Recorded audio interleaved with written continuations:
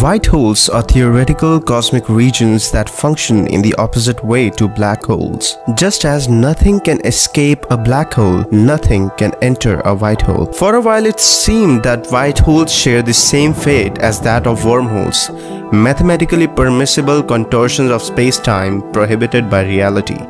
But ever since Stephen Hawking realized in the 1970s that black holes leak energy, physicists have debated how the entities could possibly shrivel up and die. If a black hole evaporates away, many ask what happens to the internal record of everything it swallowed. Because general relativity won't let the information out and quantum mechanics forbids its deletion. So maybe a white hole is the death of a black hole.